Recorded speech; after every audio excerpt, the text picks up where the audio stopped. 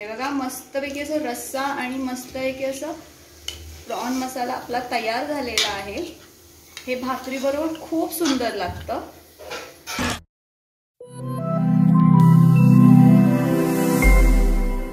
नमस्कार मित्रमैत्रिणी मी स्नेहा. स्नेहा किचनमध्ये तुमचे मनापासून स्वागत आहे. कसे आहात तुम्ही? मस्त आहात ना? मी पण मस्त आहे. आज आपण बनवणार आहोत असं झणझणीत कोळंबी मसाला कोळंबी मसाला प्रॉन मसाला झिंगा मसाला असं तुम्ही काहीही बोलू शकतात. आता आपण बघूया कोळंबी कशी साफ करायची.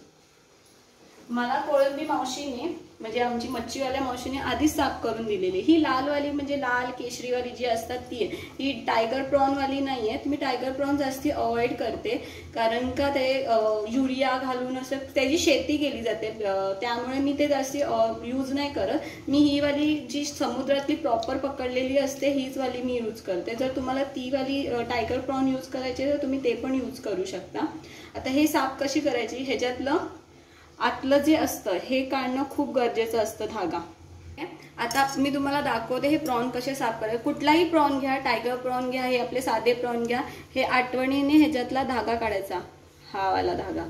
हे काढणं खूप गरजेचं आहे. हा जर तुम्ही धागा काढला नाही तर तुम्हाला लूज मोशन होण्याचे चान्सेस असतात. त्यामुळे कृपया करून हा धागा त्यानंतर हे असं काढून ठेवायचं.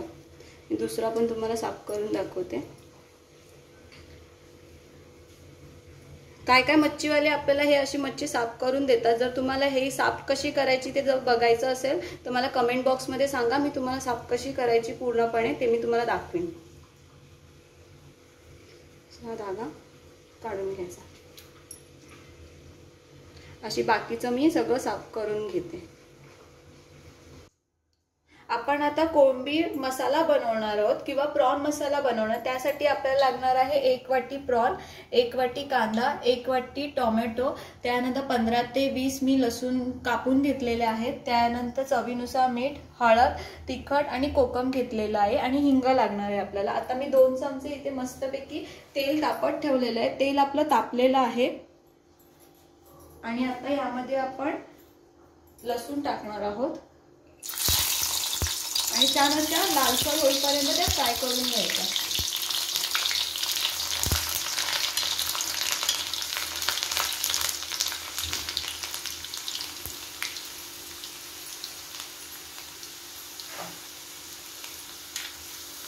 जोपर्यंत त्या लालसर होत नाही तोपर्यंत त्या थोड्याशा हलवत राहायच्या नाहीतर ते खाली चिपटून बसायचे चान्सेस असतात.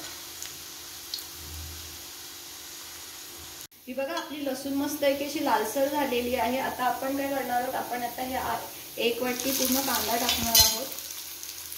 आणि कांदा पण असा एकदम ट्रान्सपरंट किंवा लालसर होईपर्यंत असा फ्राय करून घ्यायचा. लसूण आधी टाकल्यामुळे तेलाला लसूणचं एक मस्त असं टेस्ट येते. त्यामुळे मी आधी लसूण टाकते. आता असं छानपैकी मस्त असं मीडियम गॅसवरती हे ट्रान्सपरंट होईपर्यंत भाजून आपलं फ्राय करून घ्यायचं.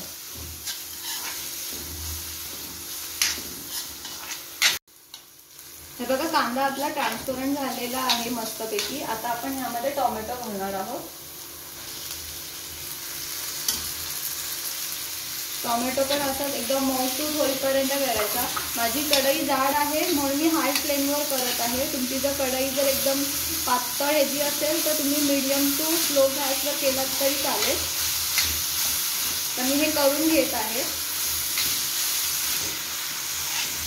हे टोमॅटो मिक्स झालेला आहे. आता टोमॅटो आणि कांदा चांगला शिजण्यासाठी मी मीठ टाकत आहे. म्हणजे तेच आपण जे चवीसाठी मीठ घेतलं होतं तेच मी आधी मीठ घालून घेत आहे. म्हणजे ह्या दोन्ही गोष्टी मस्तपैकी असं शिजून निघतील आणि लवकर होईल आपली रेसिपी हे बघा आपला कांदा पण असा मौसूद झालेला आहे. आता आपण ह्याच्यात मसाले ॲड करणार आहोत. पण त्याआधी बारीक गॅस करायचा नाही तर तुम्ही मसाले ॲड करताना खालून जळण्याचे चान्सेस असतात. आता मी मीठ टाकलेलं आहे. आता आपण हळद टाकणार आहोत. त्यानंतर आपण तिखट टाकणार आहोत. मी दीड चमचा तिखट घेतलेलं आहे. मी ते तिखट मिक्स करत आहे. तुमच्या घरात किती कमी जास्ती तिखट खातात त्यानुसार तुम्ही तिखट कमी जास्ती करू शकता. यात अजून थोडं तिखट टाकायची गरज आहे. मी अजून तिखट ॲड करत आहे यामध्ये. यात टोटल आता आपल्याला अजून एक चमचा आणि हा एक चमचा. हा हाफ टेबल स्पूनचा चमचा आहे. मी ऑलरेडी बीट टाकलेला. हा दोन अडीच चमचे टाकलेले आहेत आणि हा एक अजून असा. मी टोटल तीन चमचे तिखट टाकलेलं आहे. आता हे छान असं मिक्स करून घ्यायचं. कारण का प्रॉन आहे तर ते एकदम असं तिखट आणि झणझणीत असेल तर मजा येते. कारण का जर तुम्ही तिखट जास्ती नाही टाकलं तर ते एकदम असं मुळमुळीत आणि मजा येईल खायला. आणि आपण ह्यामध्ये आंबटपणासाठी कोकम टाकणार आहोत. त्यामुळे त्याचा तिखटपणा थोडा कमीच होणार आहे. म्हणून तुम्ही थोडं जास्ती तिखट घातलं तर खूप उत्तम होईल.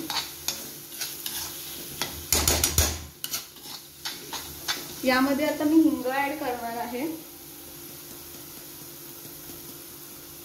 हिंग घातल्याने प्रॉन्स लवकर शिजले जातात. म्हणून थोडं हिंग घालायचं आणि डायजेशनला पण चांगलं असतं कारण का प्रॉन पचायला थोडे हेवी असतात. त्यामुळे हिंग घातलं की मग जास्ती आपल्या डोक्याला ताप नाही राहत की पचेल की नाही पचणार करून ते पचून जातं व्यवस्थित. आता बघा ह्या मसाल्याला आता तेल सुटायला लागलेलं आहे बघा चारी बाजूने थोडंसं तेल दिसतंय आपल्याला. म्हणजे आपला मसाला एकदम मस्त फ्राय झालेला आहे. तर यामध्ये आपण कोकमाचं असं पाणी काढून घेऊया हे बघा मी मोठ्या टो ह्याच्यामध्ये घेतलं घेतलंय आणि असं कुसकरून कुसकरून घ्यायचं नाही तर अक्क टाकलं तर ते तोंडात येण्याचे चान्सेस असतात. तुम्ही असंही टाकलात तरी चालेल. मी असं कुसकरून घेत आहे छान असं.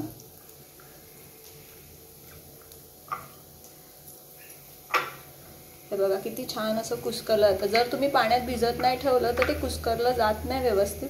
आणि आता मी काय करत आहे बघा हातावरच असं गाळून घेत आहे. आणि असं दाबून घ्यायचं. म्हणजे आपल्याला फक्त रस हवा आहे आणि हे कोकम नको आहे तुम्हाला जर खूप असं आंबट आणि कोकम असं छान आवडत असेल तर तुम्ही हे असंच डायरेक्ट ह्याच्यात मिक्स केलं तरी चालेल. तर ह्याच्यात बघा छान असं सगळं मिक्स झालेलं आहे. आणि आता मी हे प्रॉन ऍड करत आहे.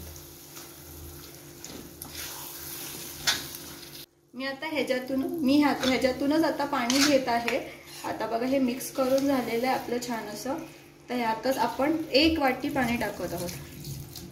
म्हणजे असं बुडेल एवढं पाणी टाकायचं आणि मीडियम गॅसवरती झाकून होऊ द्यायचं.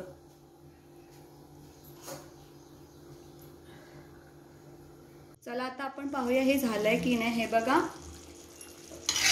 हे बघा मस्तपैकी असं रस्सा आणि मस्तपैकी असं प्रॉन मसाला आपला तयार झालेला आहे. हे भाकरीबरोबर खूप सुंदर लागतं. हे आता मी सर्विंग बॉलमध्ये काढून घेत आहे.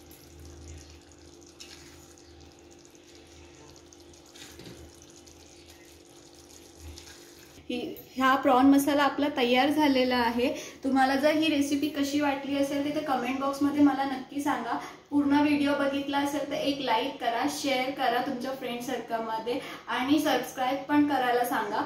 आणि हो जर तुम्हाला ही रेसिपी आव नक्कीच आवडली असेल तर कमेंट बॉक्समध्ये सांगा की कशी झाली होती करून. आणि मस्त राहा स्वस्त राहा आनंदी राहा मस्त खात राहा. आणि माझ्या चॅनलला खूप खूप प्रेम करा. आणि हो मी आता पुन्हा तुम्हाला नवीन रेसिपी घेऊन पुढच्या एपिसोडमध्ये भेटणारच आहे. तोपर्यंत धन्यवाद.